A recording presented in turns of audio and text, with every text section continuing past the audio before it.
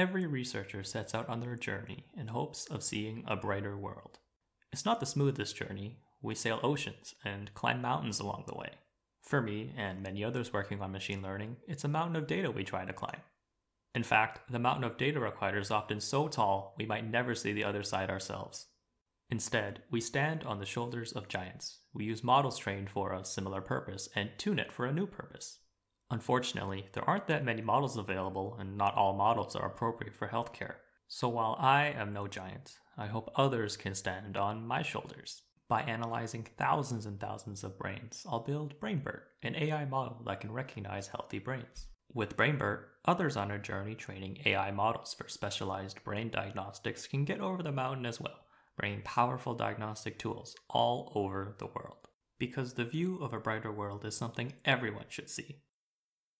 Or not, it's about the journey, not the destination, right?